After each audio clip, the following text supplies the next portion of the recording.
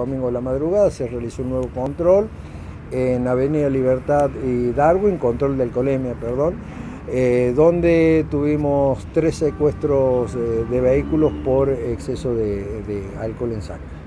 ¿Esa cantidad es mucho en comparación a otro fin de semana? ¿Es poco? No, a ver, este fin de semana ha estado más tranquilo este, comparado con los fines de semana anteriores. ¿Tenían mucho grado de alcohol las personas retenidas? Uno superaba el gramo de alcohol en sangre y después teníamos uno de 0,76 y el otro creo que 0,81 si mal no recuerdo.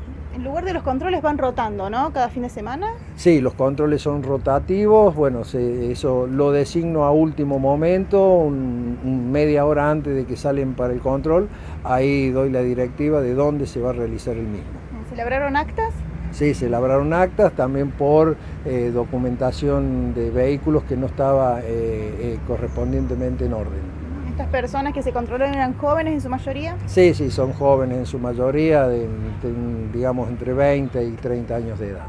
Estos controles continúan, ¿no? Cada fin de semana.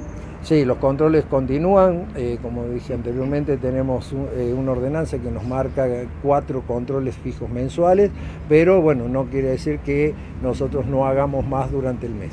¿Se está logrando el objetivo? ¿Ven que disminuyen las personas con alcohol en sangre? Y eh, esto es una, lucha diaria, una, lucha continua, va dando por ahí sus resultados no se puede ni se va a dejar de hacer, eh, digamos, eh, la, gestión del intendente Daniel Gómez Gesteira eh, quiere que también este, puntualicemos más este, este tipo de controles y así lo vamos a hacer.